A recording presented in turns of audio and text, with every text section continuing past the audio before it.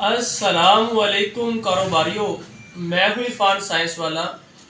ए तायर ला होती उस रिज्क से मौत अच्छी। जिस रिज्क से आती हो, परवाज में कूता है।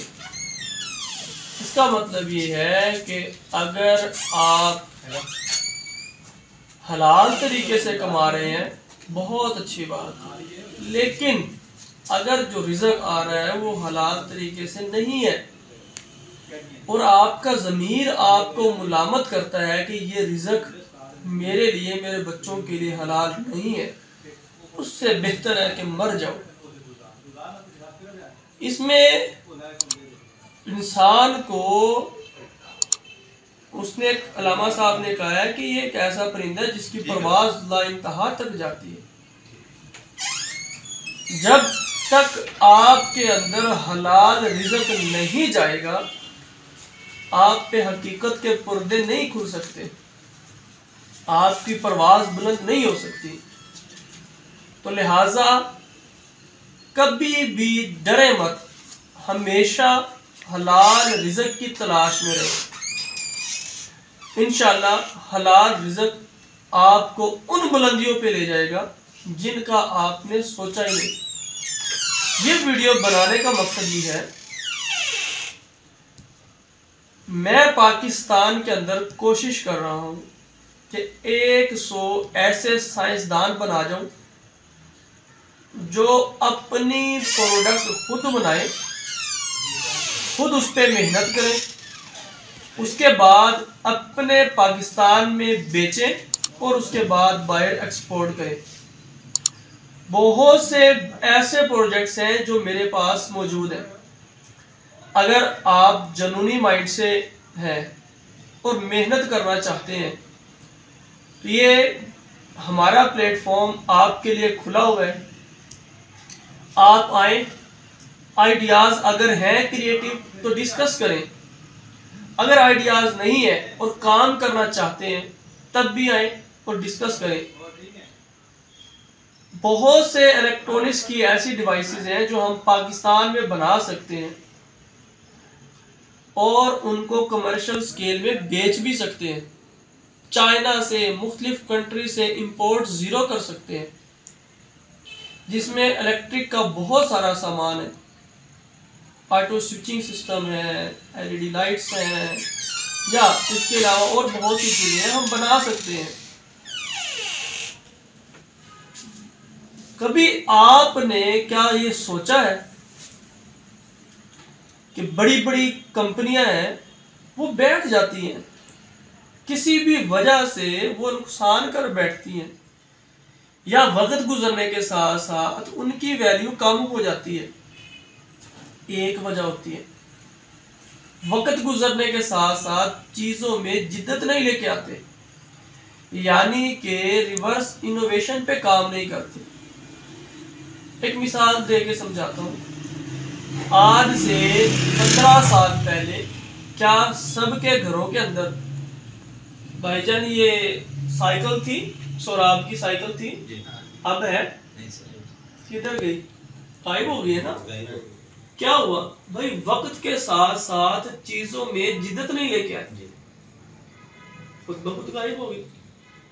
इसी तरीके से एक बहुत बड़ी कंपनी पंखे बनाती थी।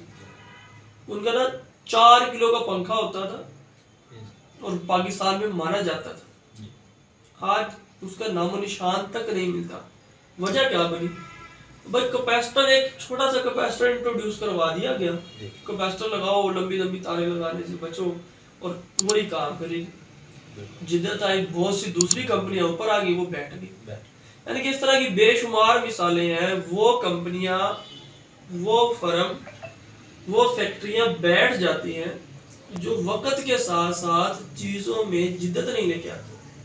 आज आप फैक्ट्री लगा रहे हैं, आप लगा रहे हैं, लेकिन अगर टाइम गुजरने के साथ साथ इसमें जिद्दत नहीं लेके आएँगे, समझ लेना, आपके कंप्यूटर पैदा होते जा रहे हैं, जो कि आपको कुचल के आपसे आगे निकल जाएँगे। ठीक है भाई तो लिहाजा जो चीज़ बनानी है, पहले उस पर ग्रिप हासिल करनी है, उस पर टाइम लगाना है, उसके बाद उसमें इनोवेशन लेके आनी है, जिद्दत लेके आनी है। ठीक है भाई और बहुत सी एग्जाम्पल्स हैं जो मैं ये एग्ज़ाम्पल दे के समझा सकता हूँ कि कारोबार के अंदर फ्लॉप होने की वजह क्या होती है। ये भी एक वजह बन सकती है। अगर आप इस पर अमल नहीं करेंगे, नुकसान के जिम्मेदार भी खुद होंगे। अच्छा ये ना सारी पॉइंट्स और चीज़ें एक अलग रह जाती है। कारोबार किस चीज़ का नाम है? यानी कि पैसे की सर्कुलेशन कारोबार। है ठीक है? मार्केट में लोग पैसा बाउंड कर लेते हैं, पैसा फंसा लेते हैं, बाद में चक्कर लगाते हैं। अभी आपके सामने वो अफ़गानिस्तान से भाई आगे बेटे उन्होंने खुद आगे क्या बताया? कितना का नुकसान किया कितने का? कितने करोड़ का बताया? पाँच करोड़ का मुझे आगे बता के कि भाई मैं नुकसान कर बैठा हूँ। मुझे को मशवरा दे दो, मैं क्या करूँ? कारोबारी होने के लिए जिगरा बड़ा चाहिए जिगरा बड़ा करना पड़ता है। ये नहीं है कि बस शुरू किया और मोजा ही मोजा। ऐसे नहीं होता। लेकिन एक चीज़ ज़रूर है। अभी तक मेरे स्टूडेंट्स कोई दस हज़ार से ज़्यादा है। बस। इतनी वीडियोस बना दी, इतना सिस्टम दे दिया, उसके बावजूद भी मेरी आज के दिन भी वर्किंग है। क्या? सुबह नौ बजे ऑफ़िस आता हूँ, रात को ग्यारह बारह बजे तक इधर काम लोग आए, आपके सामने आके बैठे, क्या कहें? कि भाई जान, ये गिफ्ट आपके लिए लाया तो आपकी वजह से घर का चूल्हा जल रहा है। मैं पहले अकेला था दस बंदे काम करते हैं। इतना सुकून मिलता है आपको बताएँगे ठीक है? इतनी एग्जांपल्स हैं कि आपको मैं दे ही नहीं सकता। जब भी कारोबार करना है, एक नंबर चीज़ बनानी है नाम बनाओ तो अच्छा बनाओ, नहीं तो मत बनाओ। नाम तो मशहूर हो ही जाता है। या दो नंबरी में कर लो, एक नंबरी में कर लो। लेकिन अगर चीज़ बनानी है तो एक नंबर बनानी है। बाटा सुनते ही जेन में क्या आता है? क्या आता है? बाटा अच्छी अच्छी कंपनी है। वो एक नंबर। एक नंबर कंपनी है। हर मुसलमान तो नहीं है मिस्टर बाटा कब था कि वीर था चला गया। लेकिन अब आज भी नाम सुनते हैं एक नंबर। ऐसी कंपनी बनाओ ऐसा सिस्टम बनाओ कि कोई सुने एक नंबर। दो नंबर तीन नंबर चार नंबर नहीं एक नंबर। तो अगर आप में से कोई भी शख्स कारोबारी रहनुमाई लेना चाहे, कारोबारी मशवरा लेना चाहे, या अपना बिज़नेस स्टार्ट करना चाहे, या नए प्रोजेक्ट लेना चाहे, या डिस्कशन करना चाहे, मेरा पर्सनल नंबर स्क्रीन पे दिया गया आप इस पर रबता करें। सुबह दस बजे से लेकर शाम को पाँच बजे तक रबता करके हमारे इधर बिज़नेस स्टॉक्स लाहौर सेंटर में आ सकते हैं। सिखाने की कोई फ़ीस नहीं है। आओ, सीखो और कमाओ। मेहमान खाना है, रिहाइश भी मिलेगी, खाना पीना भी मिलेगा बिज़नेस भी देंगे इंटरेस्ट भी डेवलप हो जाएगी। बस काम करना आना चाहिए। काम करो। डिग्रियाँ, खाली डिग्री में क्या पढ़ा है डिग्री के साथ हुनर सीखो। डिग्री के साथ हुनर सीखो। अदरवाइज़ बस फिर डिग्री लेके नौकरियों के लिए भागोगे। अगर अब मेहनत नहीं की तो चार साल के बाद जब डिग्रियाँ पूरी होंगी, फिर फिर रहे होंगे, बिस्मिल्लाह करके। फिर आना होगा, अरे भाईजान, दस हज़ार सैलरी दूँगा, बीस हज़ार सैलरी दूँगा। फिर इतनी वैल्यू होगी। अगर आज डिग्री के साथ कोई हुनर सीख लोगे, कोई फन सीख लोगे, कोई बिज़नेस सीख लोगे तो ड्यूरिंग बिज़नेस अपना ड्यूरिंग डिग्री अपना बिज़नेस स्टेबल कर चुके होंगे।